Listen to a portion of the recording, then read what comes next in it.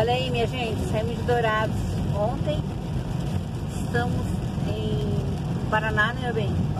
Perto de Santa Catarina e olha o tempo. Serração fechada. Chuva caindo desde que a gente acordou cedo. Mas o que mais impressiona em nós é que nós saímos com um clima e a gente tá no outro clima agora, né? Saímos com quase 40 graus, porque estava muito quente Dourados ontem. E olha só agora. E dele imunidade.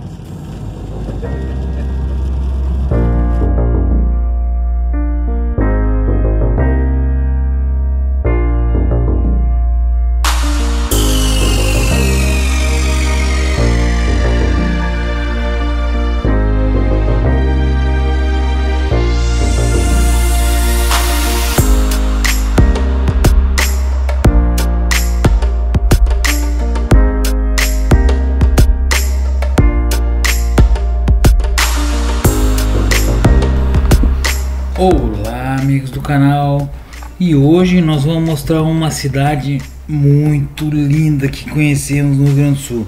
Na verdade, quem conheceu foi a Flávia. Eu já conhecia. É uma cidade pitoresca.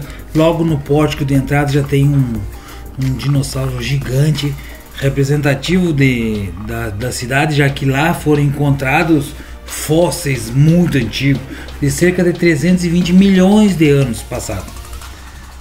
Vou contar um pouquinho da história da cidade, vou contar desse passeio legal na, na Gruta Nossa Senhora, que a gente foi lá visitar e conhecer, e que eu não conhecia, bem próximo da igreja principal, na, no cume da montanha, muito bonito de ver lá. Vamos contar então um pouquinho da história? Os primeiros habitantes de Mata foram os índios das tradições Umbu, ao Maitá e o Tupi-Guarani, que remonta ao século 17 aproximadamente. Em 1632 foi fundada a Redução de São José, com a chegada dos jesuítas espanhóis. Muito legal isso, porque a gente está tentando contar a história das reduções jesuíticas.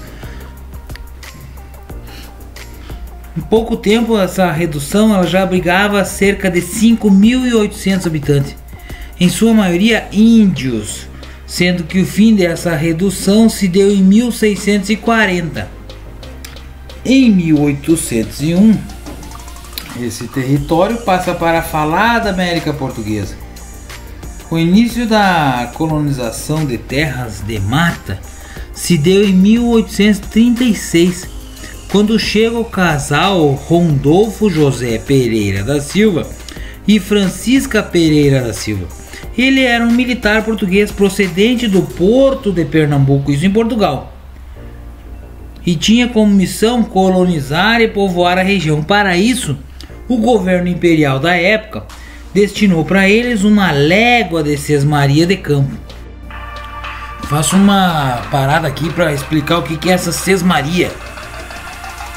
Sesmaria vem de sesma e deriva do latim sésima, ou seja, sexta parte foi um sistema português adaptado aqui no Brasil que normatizava a distribuição de terra destinada à produção agrícola.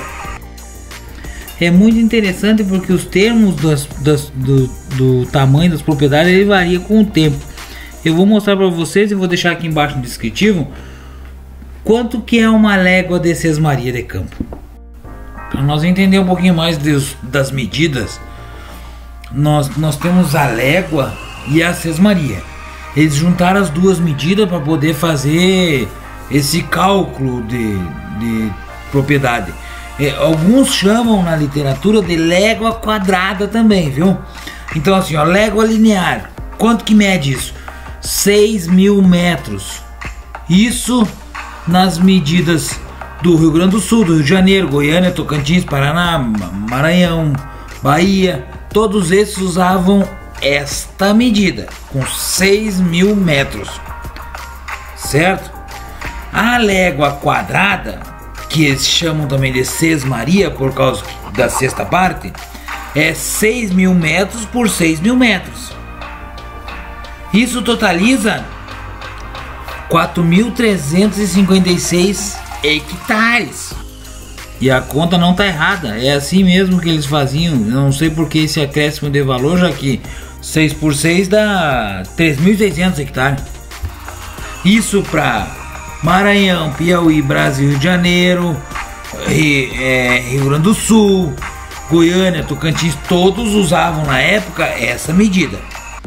Já nas outras regi regiões usavam o cálculo correto, 3.600 hectares por quadra de Sesmaria.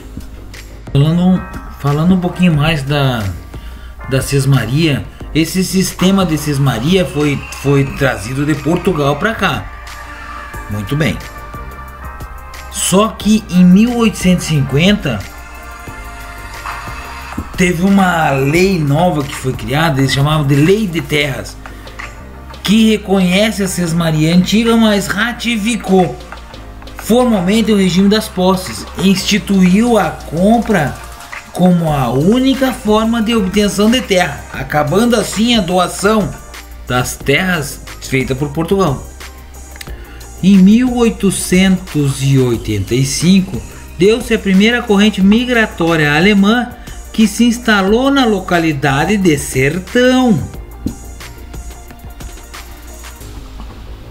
Em 1919, com a inauguração da ferrovia que ligava Santa Maria a Jaguari, começa a crescer em torno da estação ferroviária uma nova vila que foi chamada de Mata. Hoje é a sede do município. Em 1920, chegaram a este povoado os imigrantes italianos, que começando assim realmente o desenvolvimento no município, integrando seus alemães e os nativos que aqui moravam. O primeiro proprietário legítimo da maior parte das terras que hoje compõem o município da Mata foi o senhor Silveira.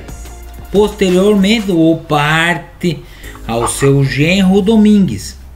E finalmente venderam para Antônio Franciosi e Vitor Nogui, o Nochi, que começaram o loteamento e a venda das terras. Diante da necessidade de controle e a organização das novas terras, Antônio Franciosi nomeou seu sobrinho Santo Brugali como procurador. Ele havia emigrado da região de Garibaldi, também no Rio Grande do Sul. Foi exatamente nos livros de apontamento dele que, que, se, que ele fazia e que se pode constatar a primeira venda dos lotes para Ângelo della Glustina ou Giustina. Mata, Vila Clara e Taquarexim, eles formavam o quarto distrito de São Vicente do Sul. No cartório com sede em Taquarexim, Francisco Maciel de Oliveira, o escrivão, assinou o registro de Cristina Jardim Fernandes, a primeira pessoa a ser registrada. Afonso José e Isabel Marcelina Franco foi o primeiro casamento realizado, e Matias Figueira o primeiro óbito. No mais antigo livro de registro do cartório de registro de imóveis da comarca de São Vicente do Sul, consta a primeira escritura rural no quarto distrito, na localidade de São José do Louro, assinada em 1907, onde Reinaldo Harzenbart, Paulo Harzenbart e William Harzenbart compraram três e meias colônias de terra de Belmiro Aguiar de Oliveira e Antônia Rodrigues Aguiar. A escritura foi assinada pelo oficial interino de Lermando da Costa. Graças aos apontamentos de Santo Brugali, pode-se constatar ainda que, em 1922, Frederico Lena foi o primeiro ferreiro. Em 1924, Luciano Ferreira da Silva, o primeiro carpinteiro. Em 1924, Antônio José da Silva, o primeiro professor. Em 1925, Dr. Burgramil, o primeiro médico. Em 1926, Augusto Pavão, o primeiro barbeiro. Em 1926, Paulo Rasenbert, primeiro dentista. Em 1927, Irmão Araújo, com o primeiro hotel. Em 1927, Dr. Contran José da Rosa instalou a primeira farmácia. Em 1928, Brandinart Kinsel adquiriu o primeiro automóvel, um Ford de bigode. Em 1930, Martimiano Egres adquiriu o primeiro rádio. Em 1930, Olavo Mostardeiro foi o primeiro contador e em 1931, William Hasenbart, o primeiro escrivão. Em 1960 foi formada uma comissão pró-emancipadora, mas somente em 27 de setembro de 1964, quatro anos depois, foi realizado o plebiscito com a vitória do sim sobre o não. Em 2 de dezembro de 1964, foi sancionado pelo governo Hildo Meneghetti a lei estadual número 4836 que foi publicada no Diário Oficial do Estado, número 119, para quem quiser fazer a pesquisa, e em 4 de dezembro de 1964, com um artigo 6 da citada lei se referia que a mesma entraria em vigor na data da sua publicação.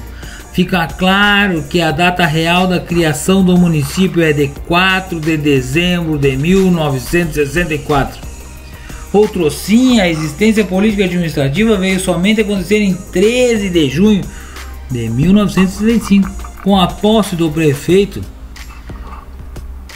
eleito Ângelo André Parabone e seu vice-prefeito Rubens Hausenbach. A primeira legislatura da Câmara Municipal de Vereadores, que funcionou a partir do dia 13 de junho de 1900, teve sua primeira composição assim formada Ângelo D'Ambros, Gustavo Augusto Arte, José Bolzan, Tasqueto, Idalino Messias Camargo Ramos, João Batista Camargo, Atalício Flores da Silva e Flodoaldo da Silva Machado. O nosso passeio na cidade da Mata ele foi muito breve.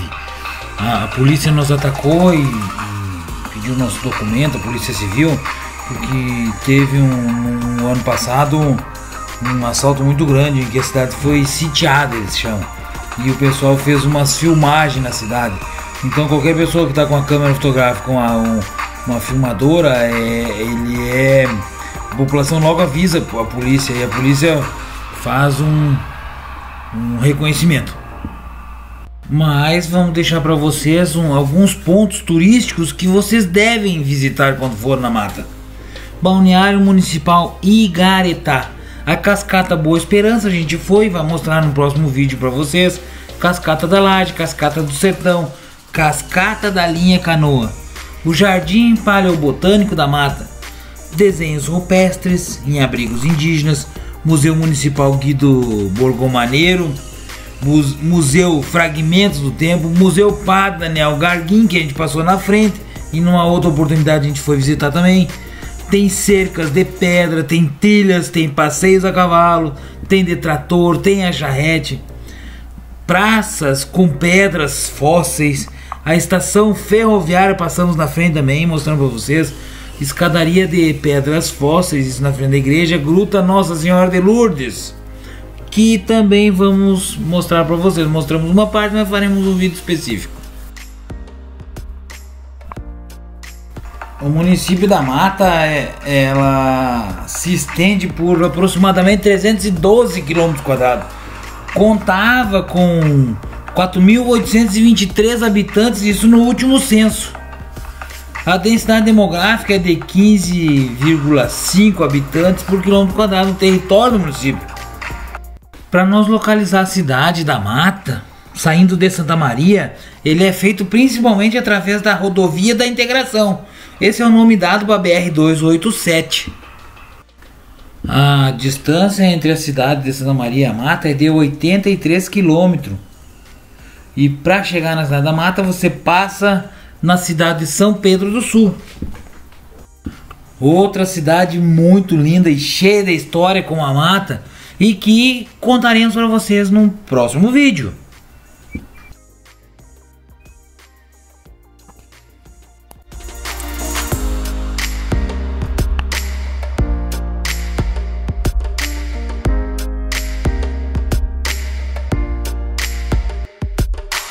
Essa praça ela foi construída em 1986 e originou-se de uma doação da dona Joaquina da Silva Costa, com a condição de ser dado o nome do seu marido no local. Nessa praça está localizado o maior tronco foz do município, com 11 metros de comprimento e 1 de diâmetro, pesando em torno de 15 toneladas. A igreja matriz foi o primeiro trabalho de ornamentação com fósseis, onde foi realizadas as escadarias, uma cruz e uma pequena praça idealizada pelo padre Daniel Garguininho, nome dado também ao museu. Isso no ano de 1977. A igreja matriz Santo Antônio foi onde o padre Daniel chegou para exercer sua função no ano de 1976. Desde que chegou, se interessou pela proteção e estudo dos fósseis vegetais. No lado esquerdo da igreja matriz, a, a gruta Nossa Senhora de Lourdes, que estamos mostrando essa imagem acima, com uma escadaria aos seus pés sendo construído de fósseis vegetais. Para a chegada possui uma via calçada e logo inicia o primeiro plano de escadaria com 12 degraus. O segundo plano possui 21 degraus, onde chega o oratório da santa, onde todo ele é feito com pedaços de pedras que eram madeira. A gruta é localizada à encosta do morro, num ambiente calmo e com muita vegetação. O santuário foi construído no morro a 500 metros do centro da cidade. Está localizado em meia floresta, possuindo um monumento decorado com fósseis vegetais com a relíquia da Santa Paulina, a qual foi a primeira cidade a receber a imagem dessa santa. Foi construída em 1939. É a maior ponte férrea em vão livre da América Latina, sendo 146 metros. Foi construída por uma família inglesa sobre o rio Toropi.